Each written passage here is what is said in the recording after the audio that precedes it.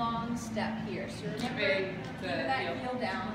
Remember how that was a little bit challenging, okay? And all we're gonna start with here is let's go side to side with those hips. Just get that, that loosened up a little bit. Okay?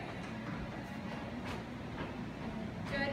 And now what we'll do here is let's take your right hand and we're gonna go through like a figure eight sort of motion here and then open way up and come way across. Does that feel all right? Yeah. Good. Let's go down low with it a few times, Kate. Good. Let's go shoulder height with it a few times so you're coming across more at that shoulder height. Let's go high now. Awesome. Okay?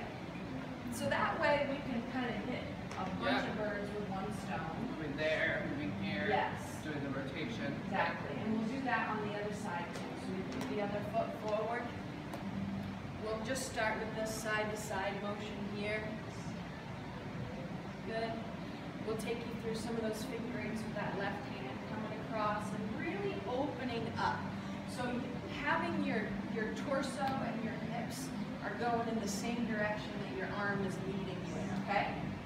We'll go low a few times, so you really reach down there low. Good. Shoulder height. Nice. Bring it all the way back. And then high. Hi, Julie. Good. Okay? Okay. And now, one thing that I think will be fun for you too is we'll get into that loading, but we'll take you, I don't know if you've done this with Jen and Dave, or, but like a, a lunge pattern. So we'll go, like kind of picture yourself standing on the, a clock the Uh-huh. ground. And we're gonna go, we'll start forward, And keeping that back, the heel down. solid. And then we're gonna go and hit a few numbers, and then we're gonna open up back here, okay? Okay. But why don't we combine some things for you? So if we lunge with the left foot, let's do that figure eight out here. Good. Let's widen that out. Good. Let's keep going. Good. And let's keep going. Okay? Okay. And you would do that on both sides. So, so like, n- uh, 12, 10, or 11, 9. Exactly. And Try to try to get back And to then 7. open- go to as far back as you feel like Okay. you. And then if you picture it like a clock, then you can sort of gauge your progress. Yeah. Right? So you can tell which numbers are getting easier to hit Yeah. in your mind. Yeah. And then you'll do the same thing on the other side. Okay?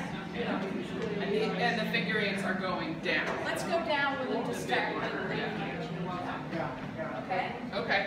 And then just one more little tweak that you don't have to, yeah, but just to get into the thought process would be, you could come out here and have to um, balance on that balance on that lunge, okay? So that these would be great um, before you split.